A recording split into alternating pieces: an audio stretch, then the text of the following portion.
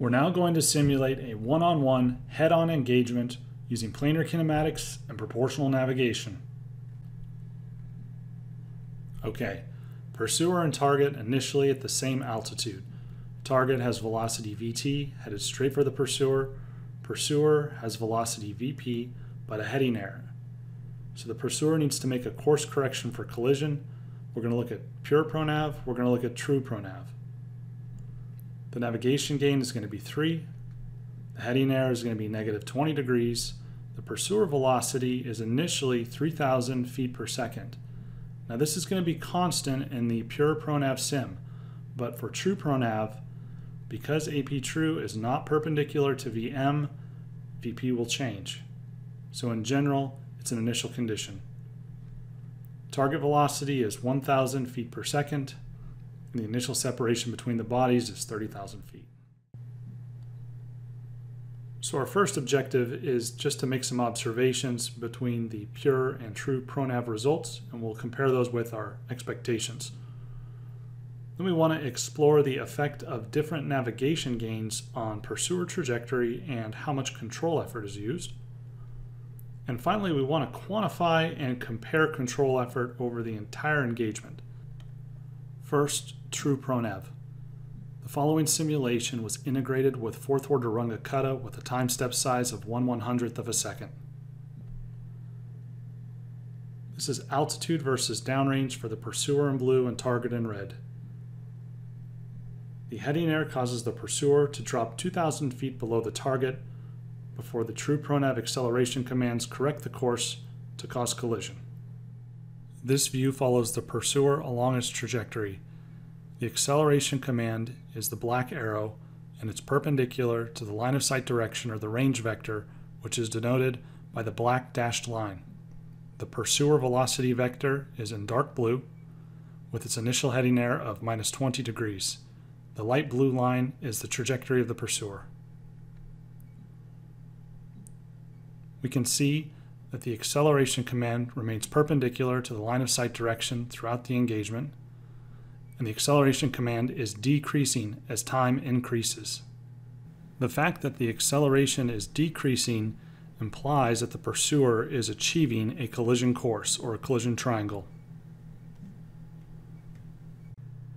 In this final frame, the acceleration command is the opposite direction because VC changes sign when the pursuer passes the target. That is, this final frame is the instant at which the pursuer has just passed the target according to our time step size. As the pursuer passes, line of sight rate becomes non-zero again so that a finite acceleration command is made. How close do we get to the target? This is a plot of range versus time where range is on a log scale. Note that range is monotonically decreasing to a minimum value. This minimum value is the miss distance. Theoretically, for this true pronav sim, miss distance should be zero. But because we're numerically integrating, we have integration error that causes finite miss in the simulation. That miss is about 8 inches in this instance. If we reduce the time step size, the miss decreases further. After the miss, range of course increases because the pursuer passes the target. So let's take a look at the moments just before collision, right about there. We can clearly see the collision triangle. Line of sight angle does not change as time increases, at least as far as we can visually observe in this plot. This is an indication that the pursuer is indeed on a collision course for this simulation. Let's take a look at things from the vantage of the pursuer just moments before collision. So here you can see a small amount of lead and the range vectors spacing out ever so slightly, almost becoming a static image just milliseconds before collision, indicating that there is a collision triangle and then the frame ends on the time step just past the pursuer. At each time step in the simulation, the true pronav command is updated. if we plot acceleration versus time, we get this curve. Starting at about 9 g's, the TrueProNav command monotonically decreases to 0 g's at about 10.6 seconds. What's happening is that the true pronav guidance law is enforcing a collision triangle. This process involves driving lambda dot to zero, meaning that AP true is also driven to zero. Now, after the miss is when the pursuer passes the target. This causes an impulsive increase in the acceleration command. It's driven by the change in sign in VC and lambda dot quickly increasing as the pursuer passes the target. Now pure pronav. The trajectories look similar.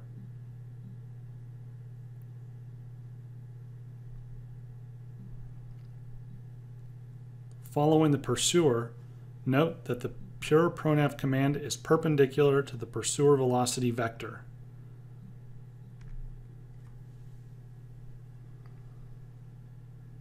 As with true pronav, we see the acceleration decrease as time increases.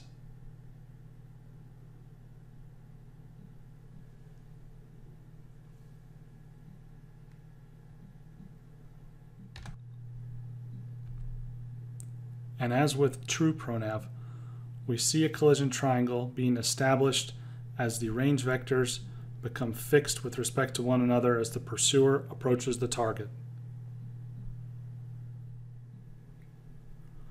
Before proceeding, pause the video and see if you can answer these questions. Let's explore the ProNav law for various values of the navigation gain. Here are the trajectories for true ProNav on top and pure ProNav on bottom for 20 degrees heading error for five different values of the navigation gain. For both laws, the larger the navigation gain, the faster the course correction as evidenced by the shorter distance taken from the start to the intercept. Here's pure pronav for three different values of n just moments before collision. Let's start with the left-hand side, n equals 2. Initially, lead is negative, becomes positive. The distance between the range vectors is continuously changing, and the lead angle of the velocity vector is continuously changing as well. This indicates that a collision triangle is not achieved, but the pursuer acceleration achievable in the sim is unbounded. So large accelerations are being commanded at the very end, and the pursuer is assumed to achieve them. Therefore, in that case, miss is still very small. n equals 3 we've seen before. But note that compared to n equals 2, much less movement in the range vectors, much shallower lead angle, and much less change in lead angle over the final moments of the engagement. And for n equals 5, we see virtually no change. It's already on a collision triangle. We know this is on a collision triangle because the distance between the range vectors is not changing and the lead angle is not changing in the pursuer. This is consistent with our understanding up to this point. The greater the value of n, the faster we achieve a collision triangle and the less control effort that must be made for course correction late on in the engagement. What about acceleration for each value of the navigation gain? Well, here it is for true on the left and pure on the right.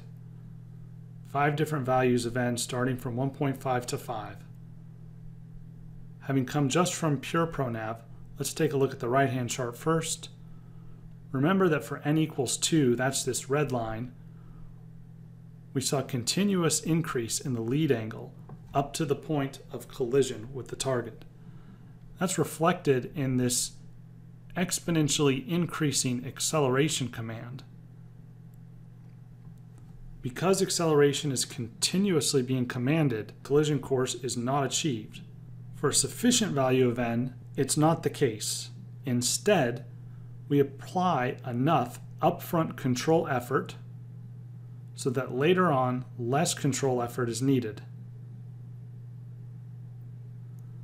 The same type of trend happens for true pronav. For low value of n, unbounded acceleration command. Here for n equal 2, interestingly, it's just about constant. But still, late on in the engagement, all the way to the final time, significant acceleration is being commanded so that the pursuer must not be on a collision triangle. For n greater than 2, more efforts being applied early on so that later on less effort is needed for collision and acceleration goes to zero indicating there is a collision triangle. Alright, let's take a break and check your understanding. Now let's take a look at control effort over the entire engagement. To quantify this, we're simply going to integrate the square of the acceleration command. Evaluating control effort for various n for both true and pure pronav, we make a table. Let's take a look at true. The highest control effort is for n equals 1.5. For 2, it decreases. For 3, it decreases. For 4, it increases. And then continues to moderately increase as n increases. So there is a control effort minimizing value of n for true pronav. And the same trend occurs for pure, but the minimum is at n equals 4. So what value of n is best? For small values of n, we saw AP diverge late in the engagement.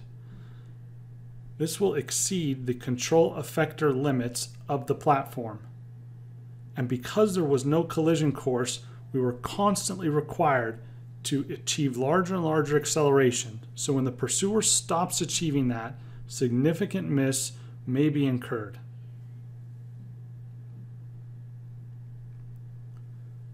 For large values of n, we saw large acceleration command early in the engagement. Same concerned about control effector limits. And while we won't cover it here, as n increases, the homing loop can actually become unstable as other subsystems are introduced back into the homing loop. And we become sensitive to other sources of noise present in those subsystems. In textbooks, a typical range for n is reported to be between 3 and 5. And that happens to lie where the control effort minimizing values of n exist in this example. Here's a final check on your understanding for this last slide on control effort. For the problem set, repeat this analysis for a target pulling a constant 5g acceleration. This is Simulation of Engagements with ProNav, Head-On Engagement, Missile Guidance Fundamentals, Section 3, Module 3.